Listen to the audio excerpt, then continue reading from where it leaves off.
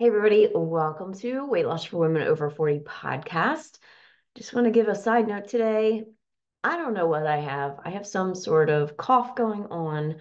Um, it's driving me crazy. So I do have a cough drop in my mouth. So hopefully that won't affect too much. I don't want to be coughing the entire episode. So, welcome to the show. Today, we're going to be talking about weight loss fails and what some of them are. What does this actually mean and how we can move forward from them? Plus, I'm very excited about this. I have a special addition to this episode today that I know you're going to want to grab.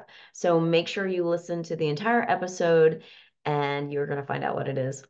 So, whether you are new here or a longtime listener, I am so glad you are here with me today. I'm your host, Nikki T, and I'm the person to call when you want to lose weight for the last time in a simple, easy, and doable way that involves a lot more mindset ninja skills before you step foot in the gym or go get a bite of, to, of food to eat. I'm so glad you're here and I love getting on the phone with people that want to work with me. And the first thing that they say is, I found your podcast and I started binge listening to it while I was walking. Uh, I am so grateful for this platform um, that it exists where people all over the world can hear this. So just know from the bottom of my heart, I'm very grateful for everybody that is listening um, and sharing. So let's dive into the topic. It is safe to say that in the weight loss arena, the word fail comes up a lot. Now, you may not use this exact word, but it certainly is implied. So when I talk to women who want to work with me, they tell me all the programs and diets they've tried in the past. AKA, this is what I've done and this is what I failed at in the past there's an underlying tone of shame. Like it should have worked, but I wasn't able to do it. I failed. So I remember being in first grade, and either I believe that the um, grading system was an S for satisfactory, an I for needs improvement, and an F for failure, right? This is what I remember it as. So our brain will bring up memories about our grades, right? And I remember this very distinctly, this moment in my childhood. I will never forget it. We had a small sheet that had four pictures on it. And those four pictures were a story depicting the story of Goldilocks and the Three Bears. But the pictures weren't in order, right? So the assignment was to put the pictures in the correct order by numbering them. Clearly, I did not understand the assignment. And, or I had another version of how the story should have gone in my head. I don't know. But I remember getting this paperback with a huge F written in red ink, and it was circled just in case I didn't see the big red F. I was crushed. An F I was like, what, seven at the time when I was in first grade? I'm pretty sure that F did not derail my successes in life, but it certainly made me feel like crap about myself and like I wasn't good enough. Do you remember a time when you got a quote unquote bad grade? What did you think about it? How did it make you feel? Now, clearly, this moment in my life left a mark on me because I still remember it like it happened yesterday. But the biggest takeaway here is that F had nothing to do with me as a person. I just got the story plot mixed up. Maybe I wasn't paying attention. I don't know if they read the story and then this was the assignment to see if we were paying attention. So maybe I wasn't paying attention. Maybe I wanted to redo the story. I wouldn't be surprised because that is me. Who knows?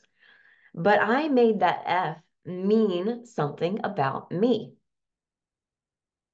Failing at weight loss is not who you are. You are not a failure.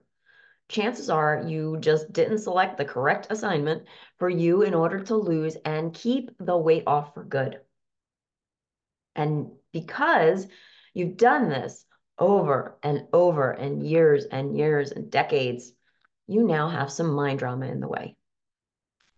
You could try another diet. You could force yourself to work out, You could continue to hate yourself skinny. And I get it. I've been where you have been. I've been where you are right now today. Like, what the hell? Why is this not sticking? Why is it not working? I attempted to do all the above. I did diets. I obsessed over every little thing that I ate. I micromanaged all the things in an effort to maintain my lean body. Uh, in a couple episodes ago, actually, it's been a while, um, when I moved out and moved into my apartment, I found all my um, my like journals and logs. I'm talking like two inch thick or more binders of papers and papers of me detailed in my food, in my workout. And again, like that episode I said, it, it helps me be a better personal trainer and a coach to you and my clients. But I don't want to live my life like that, right? And it doesn't work long term. So, in the interim of in this space of like you're choosing diets that's not working, you feel horrible about yourself, right? And then you're on this crazy hamster wheel that you got yourself on. It's like those, do you remember those spinny things that we had when we were little in, in the 80s? The child um, playground, they, they don't have them anymore. They banned them from the playground because uh, I, I like to call it the wheel of death, right? You get on this spinny thing and it spins really fast because your friends are spinning it. And if you're on this thing and you try to jump off, it was like you were close to a near death experience. You don't want to jump off because you know it's going to hurt when you hit that dirt. It's the same thing with being on this diet yo yo roller coaster of constantly trying the diet and then quote unquote failing on the diet and then picking another diet and then failing again, right? So let's not get into the whole grading system of schools in the US because that is a total topic for a completely different podcast. But essentially, it sets you up for that A, right? It sets you up for that gold star. But if you get an F, wow, you might as well like cross your fingers, leave school, and hope that you can get a job at a fast food joint, which is just not true. That bad grade is like a, that F is like a scarlet letter. But what if failing was actually how you get to the goal, how you succeed? Because here's the truth failing is simply a concept somebody created failing is actually valuable information that you can use to move forward with your goals. I think we don't have a problem thinking about this in a business sense, like especially if you're an entrepreneur. But when it comes to weight loss, you guys don't think this way. You want to fail. Well, currently you don't you really don't want to fail. No one wants to fail, but it's because of what we've been taught of what failing means. That's why we don't want to fail but I strongly encourage you to go for the fail. But not just any kind of fail. It completely baffles my mind when I talk to women who are like, yeah, I'm going back to the watchers of the weight. Wink, nudge, nudge. And when I ask them if they're going back, if it worked, and they're like, well, no, then why would you continue to go back to something that doesn't work? That makes no sense to me. It's like going back to an old boyfriend because it's comfortable. It feels safe, but it's not getting you what you wanted. It's not getting you that mind blowing relationship that you truly want. And maybe there's a side of that if like you don't think you can get it. There's a whole nother topic. So let me lay this out for you. No diet will ever work unless you plan on doing that diet for the rest of your life. Period. No deviations, no side tracks, following that diet to a T till the day you die. If you love it, then do it. But if you get the ick from it and you're not able to keep it up or don't want to keep it up but keep forcing yourself, right? This is why I do not give meal plans. You don't have to count anything or points. Like, I think that's the biggest aha and confusion when people come into my program. I'm like, there's no meal plans. We're not, no. I teach my clients mindset skills that are simple to implement into your life so you don't have to do any of that other stuff. I don't know if you can hear my dog barking. She's having a field day right now. So, like I said, I don't edit these. Um, so you cannot start with the food and the exercise until you work through the mind drama about losing weight. So let's talk about what it means to fail. Now, I know most women who want to come work with me, you guys are the type A personalities. I do get type B personalities as well, but type A personalities, I get you. I get it. You ladies are the ones with the details, the micromanaging, order, and you feel like you are a get things done gal. And this probably serves you very well in a lot of other areas in your life, like work, kids, household, etc. But it reeks of perfectionism. And I know this because having grown up in the ballet world, nothing else but perfection was acceptable. And this is really challenging in the weight loss journey. Because, yes, you can plan and you can implement, but typically it is so rigid that you snap at some point and have a bad case of the fuckets. If you don't know what the fuck it's are, it's the screw it, I'm don't care, I'm going overboard on food, I don't, I just don't care anymore, right? And then after that happens, then you beat yourself up for doing it, and then you punish yourself for getting uh, like stricter with your diet or your workout. And yeah, I get it. I did this for years. It sucks.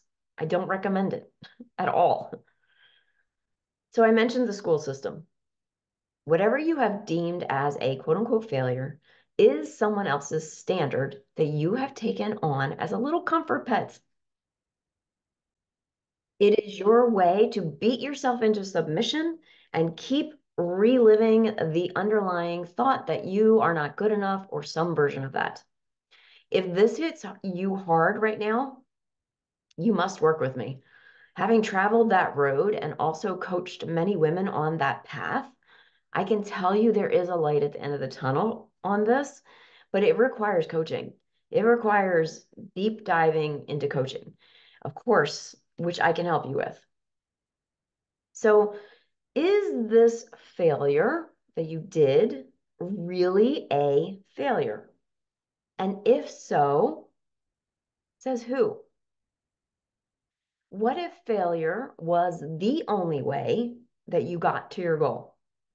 The only way to succeed. So if your goals are built on a pile of failures, what does that look like? So let's classify what are failures. So I have two versions of this. One is a backwards failure. These are failures that keep you exactly where you currently are. Accepting defeat before you even started, quitting, basically not even trying. Success failures are when you attempt to do something that is moving you closer to your goal. A success failure requires you to be uncomfortable. And it's usually something you would not normally do. You have to get uncomfortable to increase your capacity for comfort. So we are not practicing backwards failures. That is not an option. Repeat after me. We are only practicing success failures. So, like I said in the beginning of this episode, I have a beautiful bonus for you that I am so excited to share with you. I have created a free download for you on failures. It is a workbook that is going to walk you through what the next steps are for you to take to move past these failures and continue towards your goals. So if you want to grab that, simply go to weight loss for women over 40.net slash fails, F A I L S, and grab your free copy of this worksheet. I'm sorry, it's a workbook, it's not a worksheet. So again, go grab that freebie right now while it's still available and hone in on that work. And um, it's it's very mind blowing. So that's all for today. Um, remember to subscribe, follow, share, whatever feels comfortable for you. And I will see you next week on the next episode.